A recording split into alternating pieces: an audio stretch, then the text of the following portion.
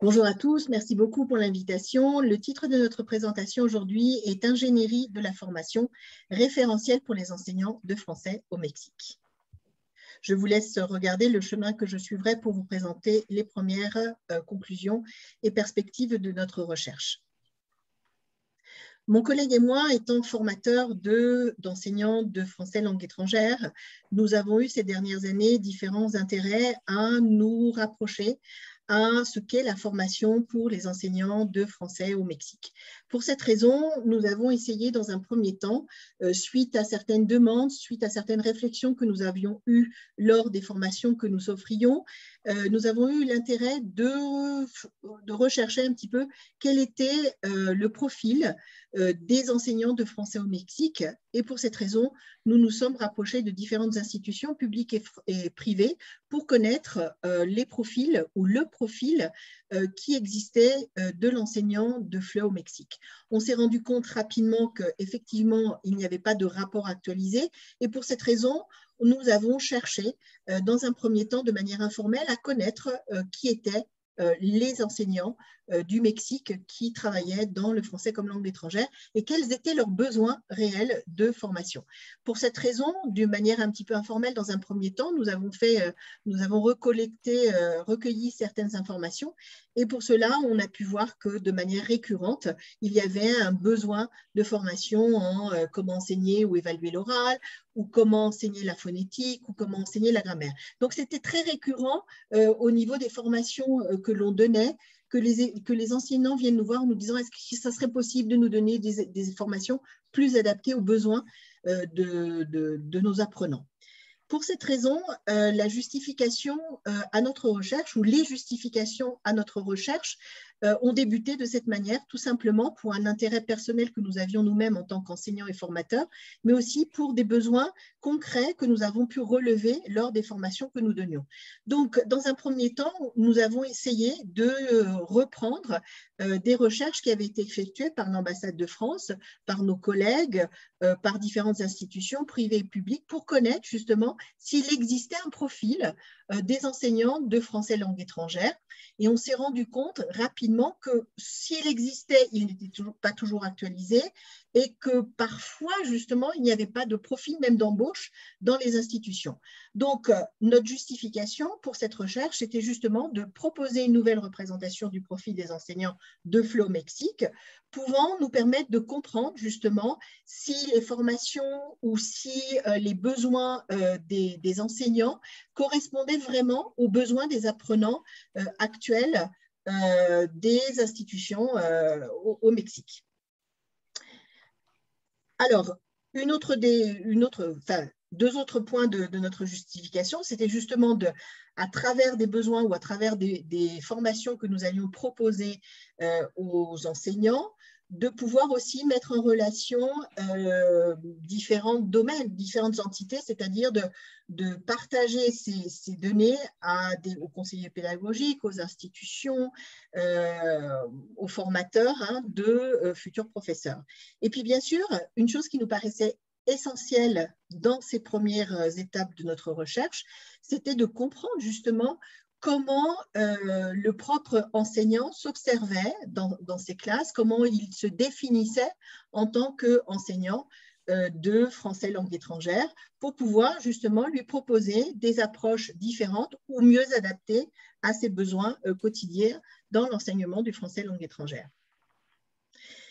Dans un premier temps, euh, nos participants, nous avions en fait euh, l'envie, euh, pour le nommer de, cette manière, d'avoir un panel de participants qui représentait justement au maximum les enseignants au niveau du Mexique. On s'est rendu compte rapidement que c'était beaucoup plus euh, facile de commencer par un échantillon euh, d'enseignants pour pouvoir justement euh, répondre à des besoins précis qui pouvaient se répercuter à une plus grande échelle. Donc, on s'est concentré à avoir un échantillon d'enseignants de deux universités publiques qui sont les universités dans lesquelles mon collègue et moi travaillons. Notre démarche pédagogique, dans un premier temps, comme je le signalais tout à l'heure, était de récompiler, de recompiler euh, des informations déjà existantes auprès de nos partenaires, c'est-à-dire de, voir un petit peu les rapports officiels, les recherches qui ont été effectuées, euh, les, recherches qui avaient été effectuées et voir si elles étaient encore d'actualité, et aussi de nous intéresser un petit peu aux possibilités qui étaient données aux étudiants hein, euh, de, de euh, de mobilité pour savoir justement quels étaient leurs besoins dans ce sens-là. Donc, dans un premier temps, on a créé une enquête pour un, recueillir cette information hein, et, connaître nos participants afin de pouvoir dessiner dans un premier temps un premier profil existant, réel, euh, des enseignants de FLE au Mexique. Hein. on, essayait de faire un petit peu ce contraste entre ce qui était proposé dans les documents officiels et ce que nous pouvions trouver nous-mêmes dans euh, les formations que nous donnions. Cette enquête nous permettant en fait d'analyser des données précises d'un contexte précis avec des institutions euh, euh, bien définies, euh, afin dans un premier temps de définir le profil d'excellence et surtout d'essayer de proposer des formations en relation aux besoins concrets des enseignants de FLE. Hein, ça, c'était notre priorité au niveau de la démarche méthodologique. Donc, cette enquête nous a permis de recueillir des informations et je laisse la parole à mon collègue pour vous présenter ses premiers résultats. Ces premiers résultats nous ont donné quelques pistes de où comment situer les professeurs de français au Mexique. On a pu constater que la plus grosse quantité des professeurs se trouve à la ville de Mexico, à Guadalajara, à l'État de Mexico, à Nuevo León, où il y a cette demande de l'enseignement du français langue étrangère et en même temps dans, tous les autres États de la République mexicaine. Notre douzième question, c'est dans quel secteur éducatif travailles-tu? Vous pouvez regarder déjà que la plupart des, professeurs sont dans les secteurs publics, dans une université publique.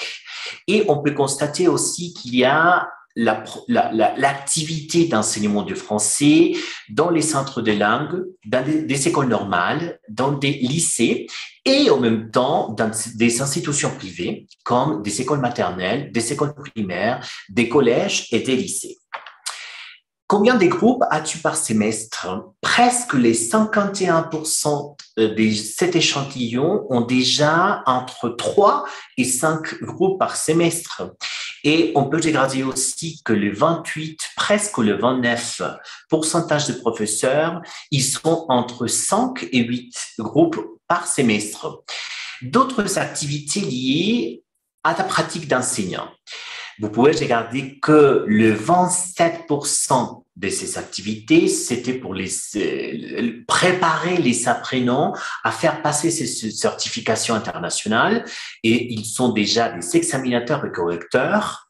Après, on peut regarder qu'il y a des soutiens pour maîtriser soit les, les, les compétences de production orale écrite et des compréhensions orales écrites et les 19 de cette population de professeurs, ils sont engagés à donner des satellites.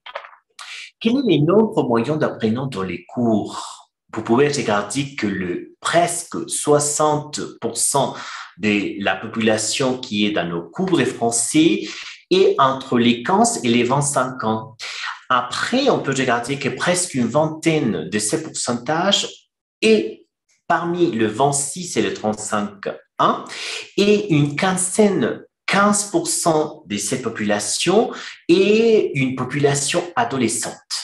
Dans les dernières années, combien de fois as-tu suivi une formation soit continue ou professionnalisante on peut regarder que les 30% de cette euh, population de professeurs, ils ont eu du fois, c'est-à-dire ils sont suivis deux formations, soit continue professionnalisante, et après on, a pu regarder que nos professeurs, ils sont pas dans cet rythme d'actualisation et ils ont suivi soit euh, plus de trois fois ou une fois une formation dans sa vie professionnelle. Dans quelle institution as-tu fait ces formations? Vous pouvez voir que les formations offertes se trouvent dans nos institutions, les universités publiques.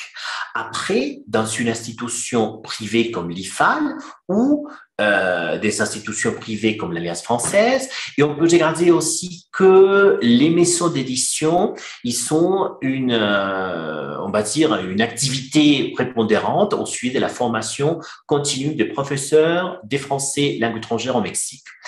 Comment tu trouves ces formations d'après TV Soins, les 47% des professeurs de français inquiétés, ils ont dit que les formations sont bonnes. Et les 35% de cette réponse ont dit que ce sont des formations excellentes. Et c'est pour, et c'est à ces moments-là qu'on s'est posé des questions, qui sont dit, est-ce que ces formations sont adaptées à ces profils, à l'actualité de nos professeurs d'enseignement des langues et des cultures? Et maintenant, je vais laisser la parole à ma camarade pour ses premières conclusions.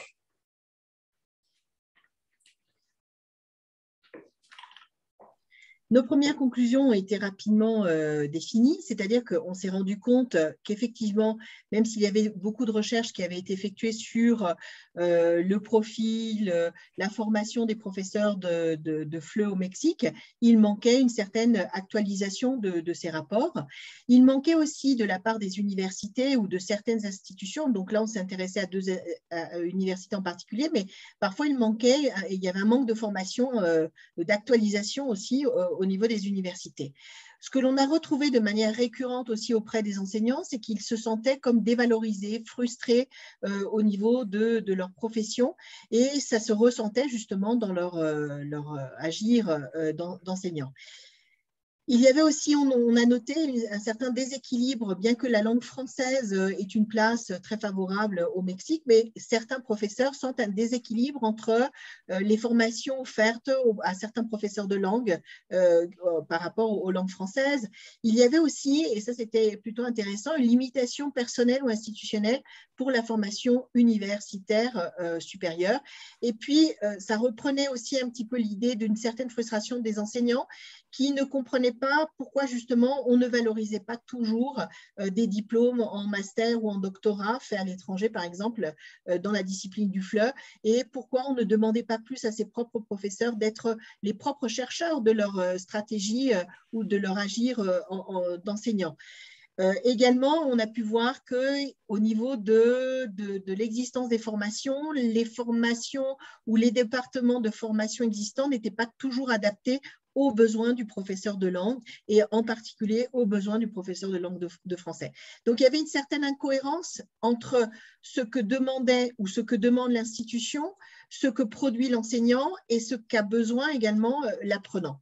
Au niveau des politiques linguistiques, nous ne sommes pas non plus spécialistes, mais en lisant les documents officiels, on s'est rendu compte qu'elles n'étaient pas toujours adaptées aux besoins professionnels des, apprenants, étant donné que le contexte change. Hein, euh, ces dix dernières années, le contexte de l'enseignement des fleurs et les besoins des apprenants a, énormément changé.